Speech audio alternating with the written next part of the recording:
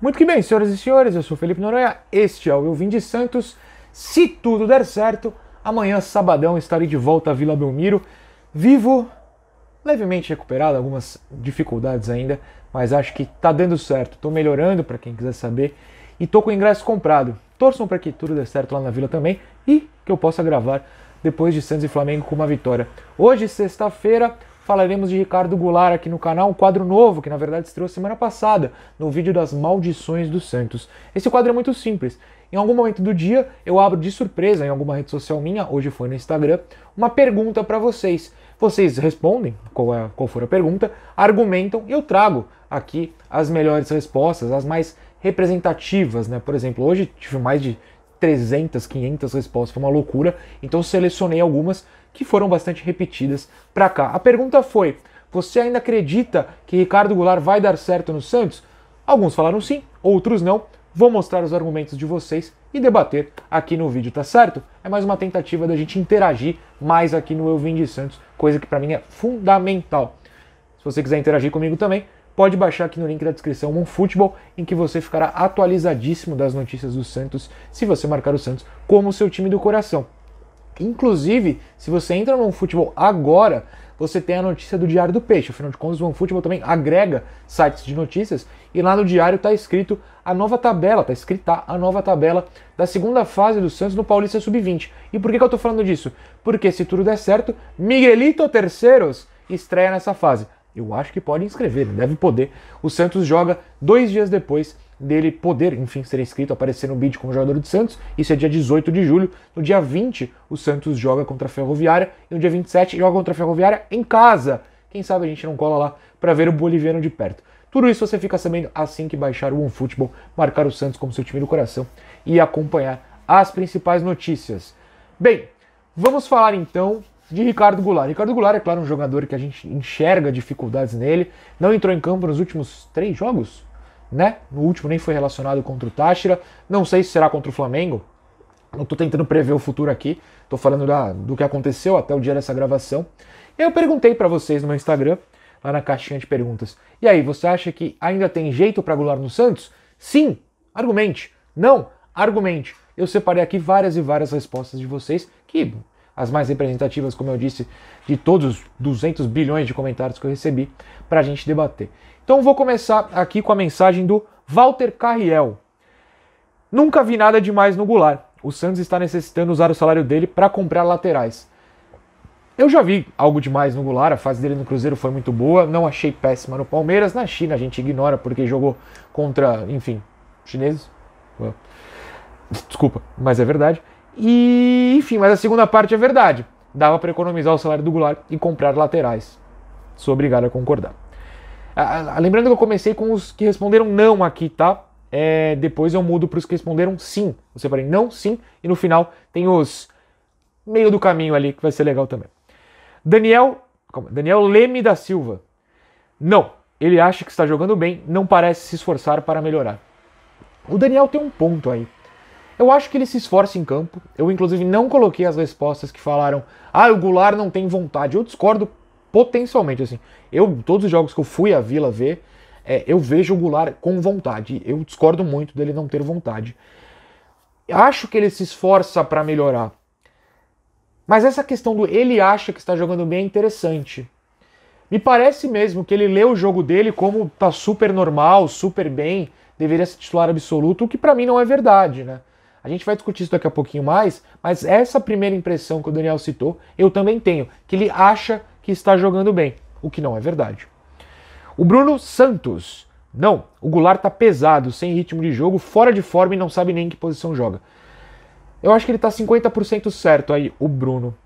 Tá pesado, pesado só se for que não é, não é o gordo, né? O Goulart tá claramente em forma, isso, então eu vou interpretar como ah, tá pesado de fora de forma, não sei. Até porque depois ele fala fora de forma. Não acho que seja forma física. Ritmo de jogo, até concordo. Mas são seis meses no Santos já, né? Ele jogou, ele tem jogado bastante. Pode não ter jogado as últimas três, mas antes estava jogando. Foi titular o Paulista inteiro. É muito difícil a gente aceitar que o jogador está tão sem ritmo de jogo assim. Acho que o Bruno tá certo. E aí ele tá mais certo ainda nesse. Não sabe nem em que posição joga. Ele falou que era meia e ele foi péssimo como meia. Ele não quer ser atacante, mas os únicos momentos de blira, blirareco dele foram no ataque. Complicado. O RC, JR, RC Júnior, não sei. Não, ele tem que aceitar jogar dentro da área. Eu falei que a gente ia discutir isso. Tá aí, chegou a hora. Ele não tem mais resistência física para jogar no meio. Concordo plenamente com o nosso RC. É, acho que o Goulart passou da hora de aceitar jogar dentro da área. Ele deu entrevistas públicas, né? Ao Globo Esporte, principalmente, se não me engano, falando que se lê como meia, que não entende o Bustos não escalá-lo como meia. Mas desculpa, no meio-campo o Goulart jogou mal todas as oportunidades que teve. No ataque ele pelo menos cabeceia, chuta pro gol. Tem os seus golzinhos, seus quatro gols, tal como o Angulo, eles têm o mesmo número de gols. Fica a dica. Então eu acho que ele deveria assumir de fato que é um centroavante ou um atacante que entra por trás do centroavante, que é uma posição que o Santos até tem, mas que está perdendo agora com a entrada do Bruno, porque o Santos precisa de um meia, quando tem segundo atacante, não tem meia. O Lucas Picar, não, o tempo o tempo para pegar ritmo de jogo já passou e ele não gira na mesma rotação que o resto. Acho que o Lucas foi preciso, eu concordo com ele nessa questão do tempo para pegar ritmo de jogo. São seis meses, gente. Ele chegou ainda na pré-temporada, né? É, dava para estar tá em ritmo de jogo já. Concordo plenamente com o Lucas e concordo também que ele não acompanha o ritmo de outros jogadores, principalmente o Mário Leonardo, o Ângelo, o Batistão, o Bruno. São jogadores que é, têm uma, uma, uma fluidez em campo muito maior que o Goulart e querendo ou não, ele joga ao lado desses caras porque é um jogador de frente. O Jamota, que eu espero que não seja o Jamota. O Goulart não dará certo. Desde que estreou, não teve sinais de evolução nenhuma, nem física nem tática.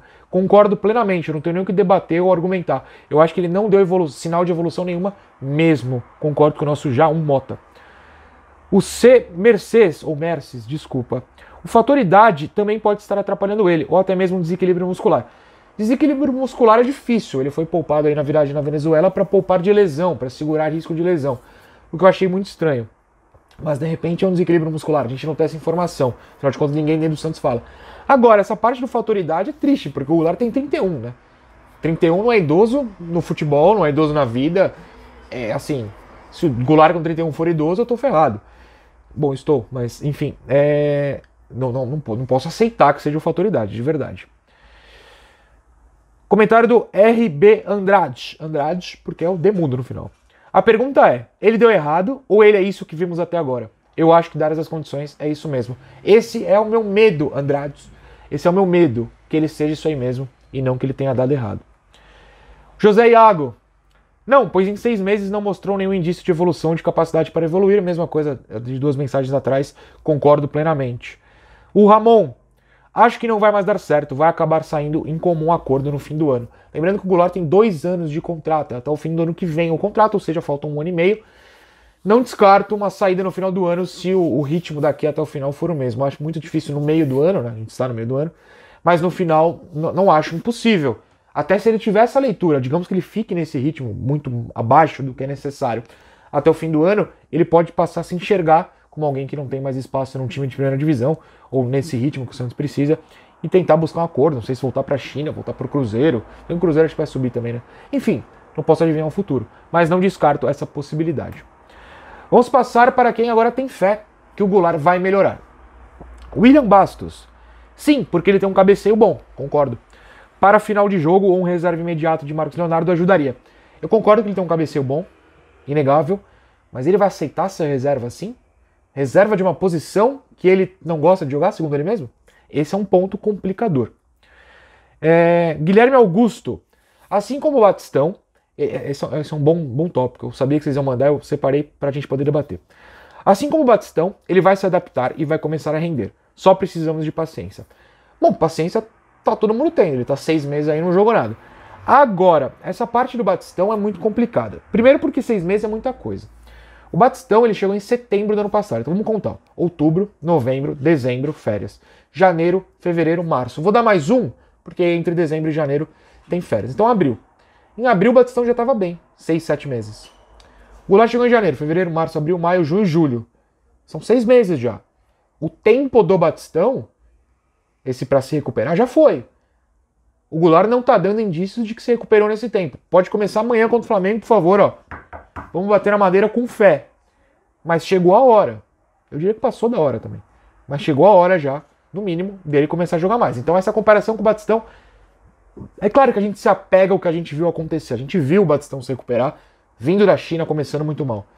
Mas eu acho que são situações bem diferentes. O Batistão era mal escalado, ele era escalado como centroavante e, e nunca falou que, que, queria jogar em outra posição. O Goulart é escalado, aí pede para jogar de outra, é escalado na outra, pede para jogar de uma. Eu acho situações diferentes, mas vamos torcer. Dudu Curatolo. Ok, o Curatolo, Dudu. Tem um pouco de esperança. Dá para ver que é diferenciado tecnicamente está em uma fase. Eu, eu não sei se eu concordo plenamente com o que o Dudu está falando. Eu não acho que o Goulart seja ruim. Eu acho que ele está ruim. Eu não acho que o Goulart, o Goulart nunca tenha sido bom. Óbvio que ele já foi bom. Pode ser só uma fase, mas a gente não tem como cravar se é isso ou não. Obviamente a gente não, não tem como. Mas eu não sei se ele é tão diferenciado tecnicamente no momento. Eu digo isso pelo que eu vejo na Vila. Eu não vejo nenhum toque diferente, um domínio diferente, uma noção de posicionamento diferente. Eu não vejo. Eu espero estar muito errado. O Cauã Shelder. Acho que se jogar na posição certa, ali de centroavante dentro da área, pode ser que dê certo. A mensagem está cortada, mas eu li antes de, de publicar aqui para ter certeza. Cauã, e todo mundo que pensa nisso, é o que eu já debati. É, o pessoal do não falou, alguns, né?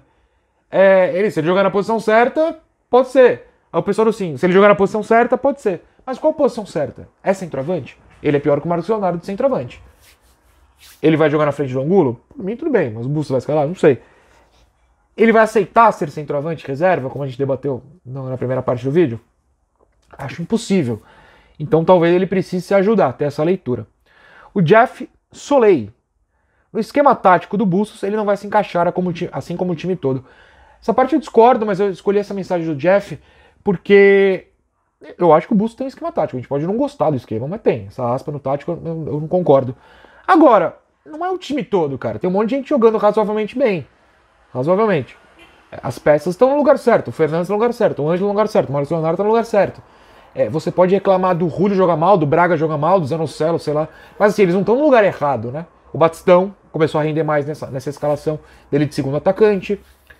Eu não acho que o Bustos escala o Goulart errado. Eu acho que isso aí é o discurso do Goulart que entrou no, no gosto ou na mente de algumas pessoas. Talvez o Jeff, Jeff, você tem todo o direito disso, não estou brigando com você, a gente está só debatendo aqui. Eu acho que o discurso do Goulart colou em algumas pessoas e o Jeff me parece ser o caso. Jeff, desculpa se não é o caso, é só.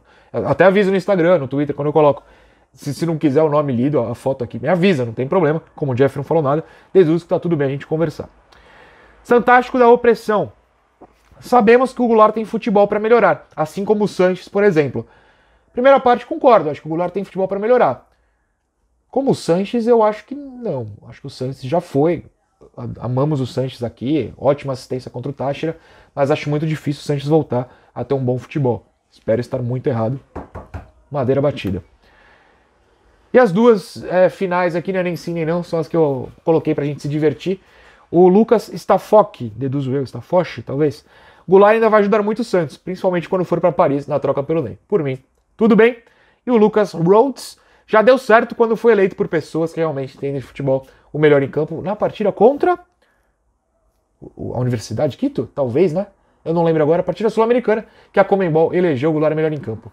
Tem que entrar uma CPI na Comembol para descobrir quem elege esses caras melhores em campo, como o Goulart, como o Angulo na última partida. Enquanto não rolar a CPI, não podemos fazer nada. Vejo vocês na vila? Espero que sim. Se não, até o pós-jogo. Tchau.